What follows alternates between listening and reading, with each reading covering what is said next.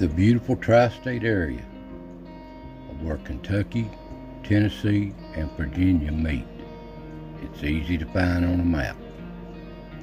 And just inside of Kentucky is the city of Middlesboro.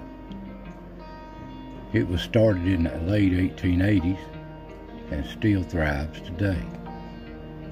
Now below my feet is an old trail come through here blazed by Daniel Boone called the Wilderness Road.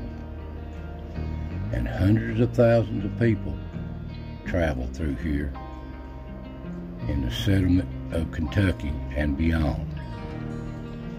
But this place holds a dark secret that nobody really knowed up to the last 20th century here that uh, they just really unraveling today. This place was formed by a meteorite from the outer reaches of space 300 million years ago. And that's what formed this basin that Middlesboro sits on today.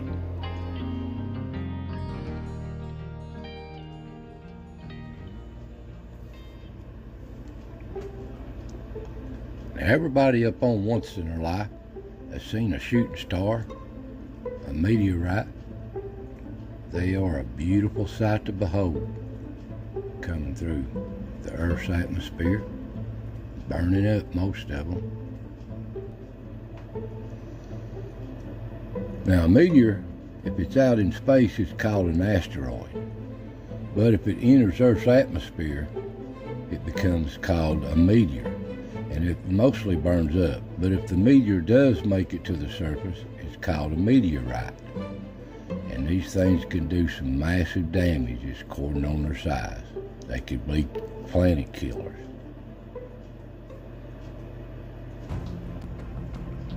Now these meteors, they can come in here running anywhere from 25,000 miles an hour up to 150,000 miles an hour. They can really move on. And when they hit Earth's atmosphere, it's according to the size of them, if they burn up or don't. And if they don't, they turn into meteorites and they hit the Earth's surface like this right here.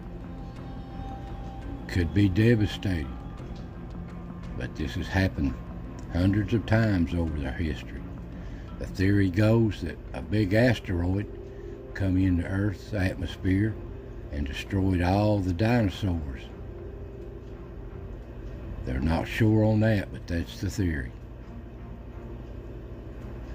Now the one that come in here and hit Middlesboro and formed the crater which the city sits up on today is here's what it done right here. Here's the size of it, the impact. You can see in the red and the yellow here, the impact zone of Middlesboro Basin. And when it hit, it probably looked like this at first. After it cooled down, everything settled down, it probably looked like this. This is the one in Arizona. And it probably took some time to cool down. This is what it probably looked like, trying to cool down and all this heat over time.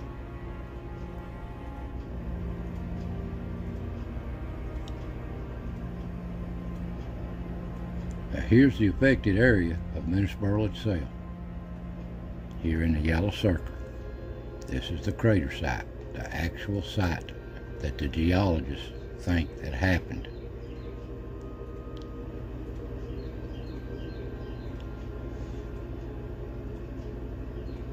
And this is probably what it looked like after it cooled down, settled, and started all the water draining out of the mountains into it. Probably looked something like this.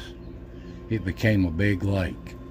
And this big lake filled up big, quick out of these mountains.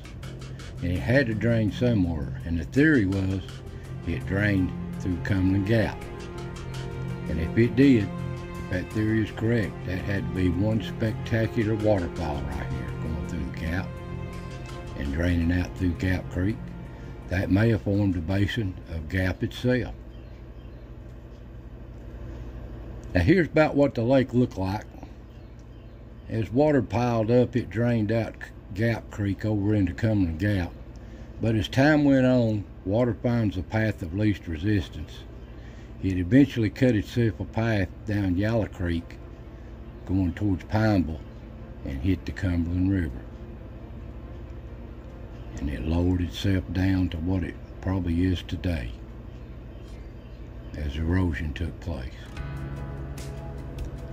Now, back when they first started mining the area, they just cut the face of a mountain out and mined the seams. Well, as time went on, technology advanced, they started core drilling down in the rock. What seams of coal was down there, what mineral deposits. And this is where they started developing these funny formation and fault lines. Now here's some of the different meteorites from around the world. All different shapes and sizes, different materials.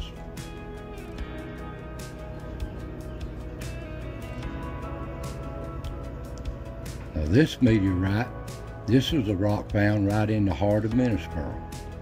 This was found at the country club, Middlesboro Country Club. This is a meteorite.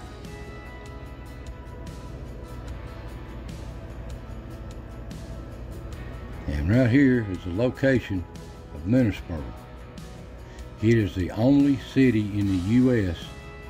that is built in a crater. And the only place in the world where coal is mined from a crater.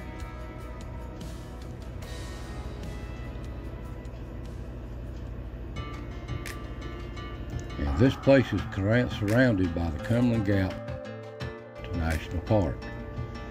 It's a beautiful park, but it surrounds Middlesboro mostly. The old Middlesboro, nobody knowed about this till probably 50 years ago. Scientists still determining what really happened and what really going on here. But the old town itself, it still lives on. It's been here for 140 years, here about. It is a really nice community. Now, the Earth's been hit by hundreds of these things over time, thousands.